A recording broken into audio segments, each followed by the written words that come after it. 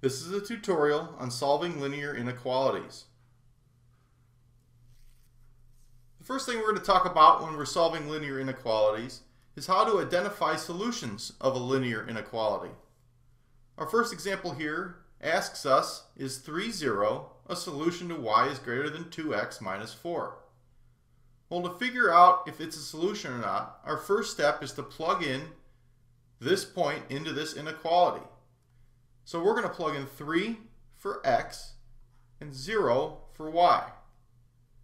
If we do that, we'll get 0, which is plugged in for y, needs to be greater than 2 times 3, which is what x is equal to, and then we subtract 4. Now we'll simplify this right-hand side. 2 times 3 is 6, and then we subtract 4, and that's equal to 2. So our right-hand side is equal to 2, and our left-hand side is still 0. So we're left with 0 needs to be greater than 2. Well, 0 is not greater than 2. This final inequality here doesn't make any sense. So that means, if this final inequality doesn't make sense, that this point is not a solution to this inequality. Let's try our next example. Here we have is 1, 2 a solution to y is less than or equal to 1 half x plus 3 halves? Well, again, to figure out if this is a solution, we plug in 1 for x and 2 for y. And if we do that, we'll get 2 needs to be less than or equal to 1 half times x, which is 1, and then plus 3 halves. Now, if we simplify the right-hand side, we have 1 half times 1, which is just 1 half and we add 3 halves to that, which is equal to 4 halves, or just 2. So what we get is 2 needs to be less than or equal to 2, which it is. 2 is equal to 2, and that satisfies our inequality. So since this final inequality makes sense, that means 1, 2 is a solution. Now next we're going to talk about how to graph a linear inequality. Here we're given y is greater than 3x minus 2. Well, to graph this, the first step is just to pretend that this is y is equal to 3x minus 2. And we're going to find points on this equality line, or this linear inequality. Now to do that, or to graph that line, we got to look at this. This is in slope-intercept form which means our y-intercept is at negative 2, or the point 0, negative 2, and our slope here is 3. So recognizing that, we can graph this. We'll start at our y-intercept, which is 0, negative 2, which is right here.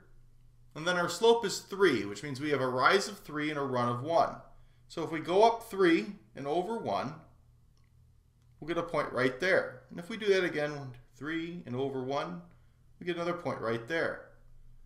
So we have our three points here and we can graph our line, but we have to go back to our inequality equation here. This is a greater than. It's not a greater than or equal to.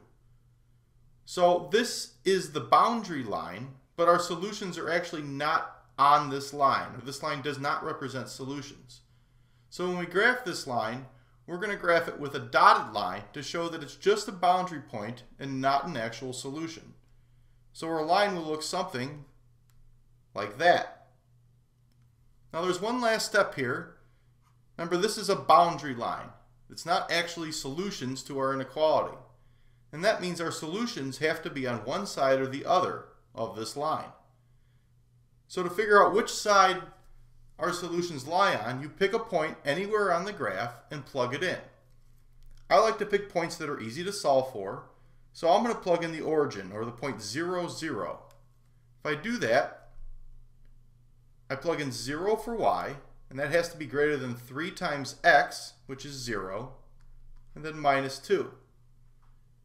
The left-hand side is just 0. 3 times 0 is 0, and then minus 2 would just be a negative 2. So our final solution here boils down to 0 needs to be greater than negative 2. Well, 0 is greater than negative 2, which means 0, 0 is a valid point to this linear inequality. And since that's to the left of this line, that means every point to the left of this line is a solution to this inequality.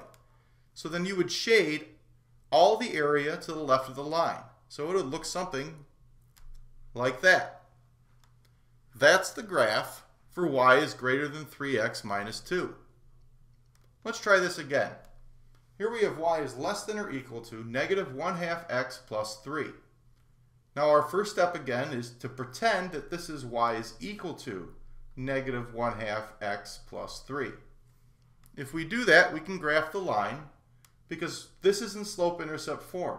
So that means this is my y-intercept, or we have the point 0, 3, and then my slope here is a negative 1 half. Well, knowing that, I can graph my line. My y-intercept is at 0, 3, which is right here. And then my rise is a negative 1, and my run is 2. So we would go down 1 and over 2. And we can do that again, down 1 and over 2. And we'll get a row of points like that. Now before we connect these points, we go back to our inequality. This is a less than or equal to. And since it's equal to, that means all the points in this line are valid solutions. So to demonstrate that, we would connect those points with a solid line, which would look something like that. Now again, we have one more step. We need to figure out what side of this line our solutions lie on. So you can pick a point anywhere on the axis. I like to pick ones that's easy to solve. So again, I'm going to pick the origin or the point 0, 0. And we plug that into our inequality. If I do that, I plug in 0 for y, which has to be less than or equal to negative 1 half, plug in 0 for x, and then plus 3. We're left with 0 on the left-hand side, which has got to be less than or equal to. A negative 1 half times 0 is 0, so we're just left with 3 on the right-hand side. So we have 0 needs to be less than or equal to 3, which it is. So that means 0, 0 again is a valid point for our inequality, which means all the points below this line are solutions to our inequality. So we would shade in everything below this line. So our graph would look something like that.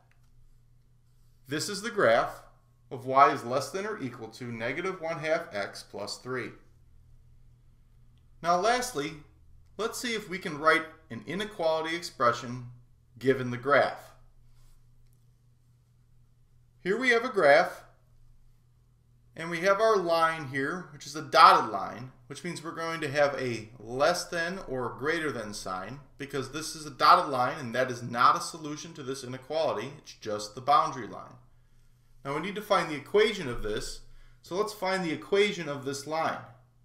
Here we have a y-intercept at 0, negative 5. And we have an x-intercept here at negative 3, 0. Well, let's use our standard slope-intercept form, which would be y is equal to our slope times x